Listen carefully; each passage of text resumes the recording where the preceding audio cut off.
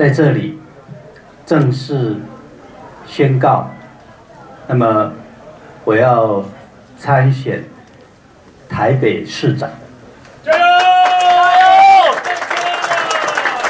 前台南县长苏焕智今天上午宣布退党参选台北市长。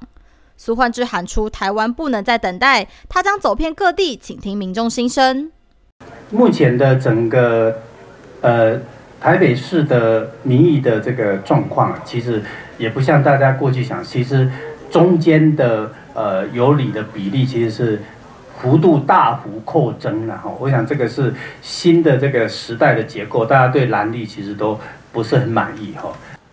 我认为留在民进党。的确已经很难对台湾社会有所贡献。台湾不能够再等待，人民也不能够再等待。我在这里郑重宣布，退出了已经参加二十七年的民主进步党。民进党至今尚未推出北市人选，姚文智以及吕秀莲皆有意角逐台北市长之位。而大家关注的是，苏焕智决定退出参加了二十七年的民进党，加入北市长的战局。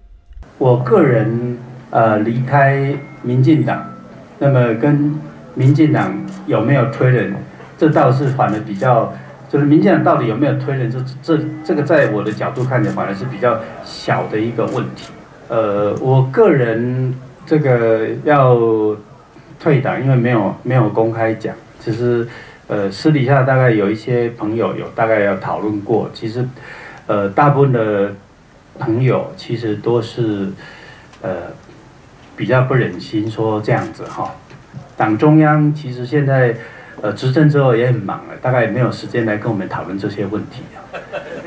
所以我们大概只能够在脸书有偶尔发发一些想法，对，离开民进党，没有离开。台湾的民主运动，而是更进一步的推动台湾民主深化。